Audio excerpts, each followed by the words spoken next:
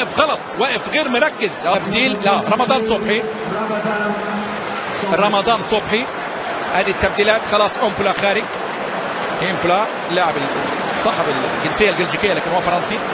ونازل مكانه 27 بويان. بويان مكانه اللاعب الإسباني. التبديل الثاني لستوك سيتي في العشر دقائق الأخيرة. خروج ديوف 18 ونزول رمضان صبحي رقم 32 كده تنشيط هجومي صريح.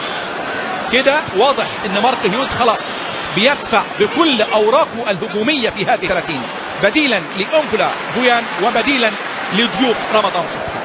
أجرى مارك هيوز الثلاث تبديلات. تحضير في نص الملعب. كرة تعود لستيكلينبرغ الكرة رمضان اللي على التنفيذ. محاولة البحث عن التعادل. ودي ضربة رأس ومحاولات أدي رمضان. رمضان رمضان يمرر لبويان. مقطوعة التمريرة لسه قائمة المحاولة لسه تاني ألان ألان والمحاولة والتصويبة القوية لكن تصطدم بأقدام وبكأس الرابطة البطولة الوحيدة في تاريخ.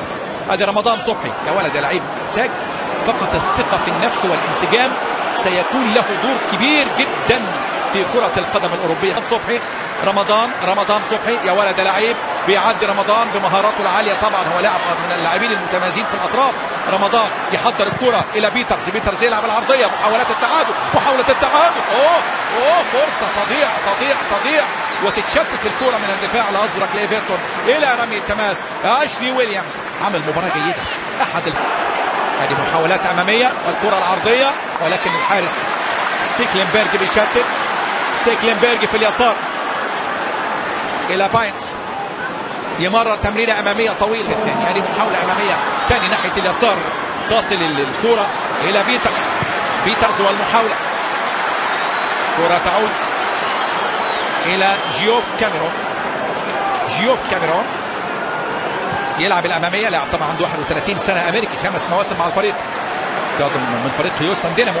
هذه محاولة إلى بيترز بيتر إلى رمضان. رمضان صبحي. رمضان. لازم في لازم يكون في تحركات. ديوف.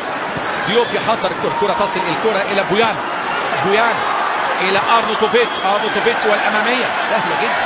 سهلة مفيش حلول هجومية. طبعا بسبب يعني التمركز الإنجليزي بعيد كل البعد. ولذلك محتاج وقت للتأقلم والانسجام. سيكون له لسه كمان شاب صغير 19 عام. ادي عرقلة وضربة حرة مباشرة. الثواني الاخيره مشاهدينا من الوقت الأصلي لشوط المباراة الثانية عصبية باردسلي عصبية لاعب ستوك سيتي. عصبية بدون فايدة وبدون داعي.